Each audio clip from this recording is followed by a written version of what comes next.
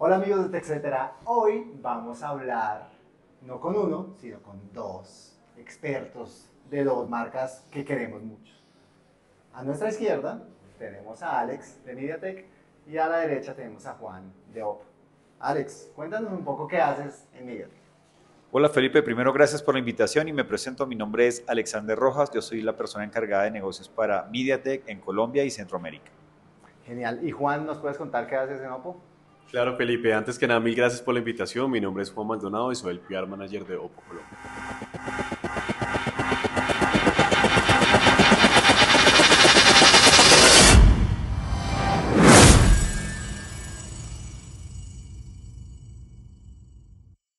Genial. Entonces, amigos de TechCetera, vamos a hablar de adentro hacia afuera, un poco diferente a como la mayoría de gente compra smartphones. Y como ustedes saben, hay un nuevo smartphone en el mercado, que lo tiene Juan, es el, básicamente, el Oppo Reno 10 5G. Nos pusimos al día, ¿no? Nos pusimos al día. Bueno, ahora, Alex, en su interior tenemos un Dimensity 7050. ¿Nos puedes contar las ventajas de este chipset? Pues mira, lo más interesante de este Dimensity es que viene a reforzar un poco este Oppo Reno 10 en varios aspectos, pero creo que destacaría tres importantes. El primero, la inteligencia artificial, porque gracias a que tenemos una inteligencia artificial que es mucho más potente, que permite procesar diferentes cosas y, como digo yo, no solo aprender, sino inferir, es decir, deducir qué va a pasar en el futuro, el teléfono cada vez va a hacer mejor las cosas como fotografía, imagen, duración de batería. Segundo elemento muy importante que nos gusta mencionar es el desempeño pero mucha gente no entiende ni siquiera bien qué es el desempeño, porque es difícil medirlo. Entonces, desempeño significa que yo puedo abrir las aplicaciones en pocos segundos, que nunca pierda la conectividad, que cuando tengo una tarea muy exigente, esté viendo algo de streaming muy fuerte o quiero hacer un render si soy creador de contenido, no se me bloquee mi teléfono. Y el tercer elemento que creemos que es muy importante es todo lo que tiene que ver con juegos y Hyper Engine. Hyper Engine es un sello de la casa MediaTek, una tecnología que llevamos desarrollando más de seis años y en este tiempo pues llegamos a la versión 5.0. Esto permite que cada uno de los elementos del teléfono como interacción con la pantalla, qué tan rápido es el teléfono y fluido, cómo puedo ajustar el tema de rateo de la pantalla funcione muy bien. Y estos tres elementos hacen que este Dimensity 7050 o por Reno 10 tengan una amplia eh, transformación y permitan que el usuario tenga un mejor desempeño. Alex, cuando hablamos de núcleos, porque este tiene 8, la gente dice, oiga, y yo sí quiero que tenga tantos, ¿qué hago con tantos núcleos? Pues de hecho te tengo un, dato adicional, sí, son 8 de procesamiento, pero son 28 núcleos los que incluye. Entonces la gente diría, ¿y yo qué hago con 28 núcleos? Exacto. Bueno, entonces con 28 núcleos se pueden hacer muchas cosas. Lo primero es que tengo 8 núcleos de procesamiento, que están buenísimos, pero ¿qué hacen los otros 20? Y lo mencionaba un poco, tenemos unos que se encargan de la parte de fotografía, otros se encargan de inteligencia artificial, otros se, se encargan del procesamiento gráfico, otros se encargan de manejar toda la parte de conectividad y modem, y en conjunto lo que hacen es que yo no me tenga que preocupar por nada. Estos 28 núcleos trabajan para mí, yo no trabajo para ellos, ellos son mis empleados, por decirlo así, y se encargan de que muchas de las funciones trabajen en el día a día y al final del día la experiencia sea mucho mejor. Alex, tú hablaste de algo muy particular, pero lo hablaste muy rápido, que es Hyper Engine. ¿Eso cómo me beneficia? O sea, ¿sí lo quiero en mi teléfono? Mira, Hyper Engine es una tecnología que lo que hace es, a través de cuatro motores de desempeño, respuesta en pantalla, conectividad y manejo de recursos, hacer que el teléfono funcione muy bien. Fue desarrollado especialmente para juegos, pero alguien diría, yo no soy gamer, a mí el juego no es lo mío, yo, yo tengo que trabajar todo el día. No importa, al final del día estos cuatro motores trabajan todo el día haciendo diferentes tareas. Entonces lo que hace Hyper Engine es que es una tecnología que ayuda a que justamente la interacción en pantalla, la conectividad, el tiempo de respuesta, la duración de la batería se extienda. Si soy gamer es una de las cosas más demandantes que tiene un equipo, pero no es la único que podemos hacer, sino que a través del día a día, pues este, esta tecnología me ayuda a tener un mejor desempeño. Bueno, yo veo a Juan muy serio, entonces le tengo una pregunta y es, básicamente, cuando hablamos de este nuevo Reno 10, y decimos que es experto en retrato, ¿eso qué quiere decir? ¿Que voy a tomarme selfies todo el día? ¿O efectivamente que las cámaras posteriores me van a ayudar a tener una mejor visión de la gente con la cual comparto? ¿O las dos cosas? Hay varias razones por las cuales nosotros somos los expertos en retrato, puntualmente en el nuevo Oppo Reno 10 5G. Sin embargo, creería que la principal es esta cámara que vemos acá. Es la cámara teleobjetivo de 32 megapíxeles. Es la única en su segmento que hace precisamente esto. ¿Por qué es experta en retrato? Porque por medio de ella podemos enlongar el lente hasta 2x con el objetivo de que cuando estemos capturando un retrato se haga de la mejor manera. Pues cuando estamos escogiendo al sujeto, lo reconoce perfectamente y así lo va a separar del entorno. De esta manera, pues vamos a lograr un, un retrato muchísimo mejor, puntualmente por esta cámara que estamos hablando. Ok, y Alex tocó algo bien particular que yo creo que Juan nos puede ampliar y es esta carga rápida, esta duración de la batería. Y cuando les digo Super VOC de 67 watts, ¿qué puede entender la audiencia de esto? Porque suena supremamente técnico. Completamente. Aquí estamos hablando de una tecnología propietaria de la marca Oppo llamada eh, Superbook, que por medio de ella podemos cargar el dispositivo, que son 5000 mAh, es una batería bastante amplia, en tan solo 47 minutos, el 100% en 47 minutos. O por ejemplo, si cargamos durante 10 minutos, lo podemos cargar hasta el 31%. Todo esto es por medio de esta tecnología que igualmente se acompaña por otras que se llama, por ejemplo, el Battery Health Engine, que por medio de este hace que esta, esta batería sea muchísimo más longeva en el tiempo, puede vivir hasta durante cuatro años y esto es por medio de diferentes tecnologías que, que utiliza, pero especialmente por medio de una que hace que los ciclos de carga se dupliquen. Lo estándar en la industria es de 800, a diferencia de, este, de lo que maneja este, que es de 1600. Juan, mis tías siempre me preguntan cosas y cuando yo les digo, oiga, 67 watts de carga, dicen, uy, mijo, eso le va a explotar la batería, se va a inflar.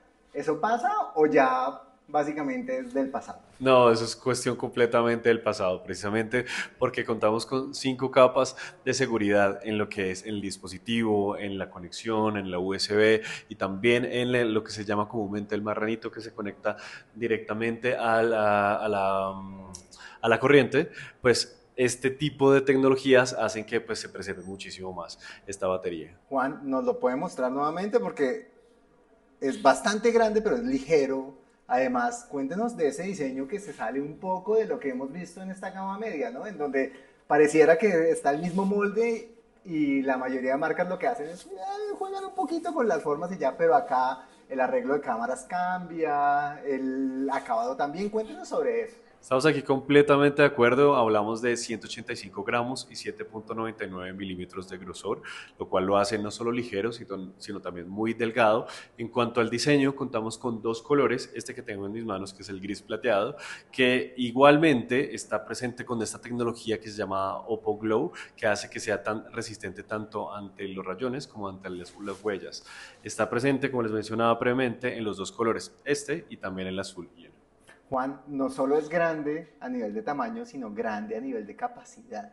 O sea, en esta gama, ¿yo qué hago con 256 gigabytes de capacidad? No, completamente. Somos expertos en retrato y precisamente como estamos capturando todo el tiempo diferentes espacios, personas, animales, requerimos un almacenamiento bastante amplio. Contamos con 256 gigas de almacenamiento y una RAM que va a hacer que este dispositivo sea muchísimo más rápido, que viene con expandible hasta 16. Es decir, venimos con 8 gigas desde el dispositivo que se pueden expandir por medio de la tecnología de RAM expandible hasta 16.